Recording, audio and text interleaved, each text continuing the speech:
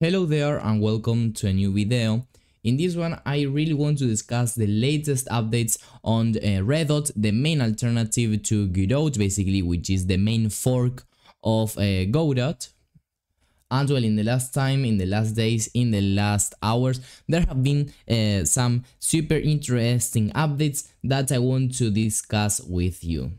So for example, just some hours ago, uh, we had this uh, tweet of we just started the Redot engine build. And well, we can see the first snapshots with this uh, red theme. People, for example, here are asking to, to change this theme. But well, anyway, we, we can see uh, how everything starts uh, in to, uh, to work and to be actually built. And well, I believe that the most important thing here is the roadmap that uh, they have uh, posted over here. Or well, actually the official roadmap will be released when the official build is published. But well, here is the list of things that they want uh, to do. First of all, rebranding. This may uh, do some reference to uh, actually write, creating other logo, um, even uploading some more things to the Twitter account, YouTube, etc.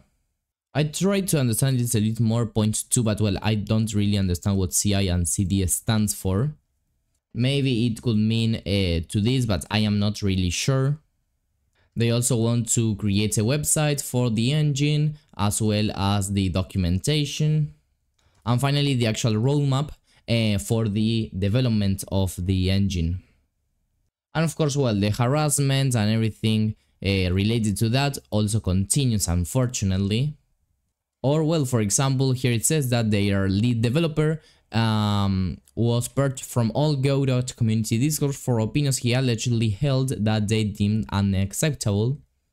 They have here their uh, YouTube channel that uh, it is still empty, okay, but once again, it is quite amazing the amount of subscribers that they got um, in literally just a, a few days. Um, and then, well, here uh, in their GitHub, they continue to um, create the different things. For example, the the engine itself, the documentation, and even more things. Um, but well, for example, over here you can check out the huge number of of stars that it has.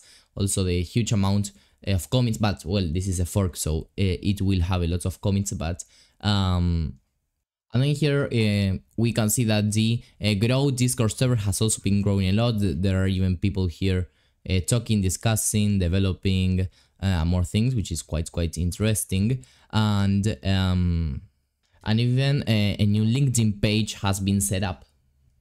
And also another thing that I would love to mention is the fact that just uh, three days ago, ago uh, on October the 5th, uh, Redot um, Twitter page had over um, seven, 17k followers uh, and now it has over 20k. Uh, so indeed, this really demonstrates the growth that it continues to have because this is not something that maybe just started with the drama and literally like two days uh, after the drama like the the account was closed the project was cancelled or the the twitter uh, stopped growing or uh, or something like that.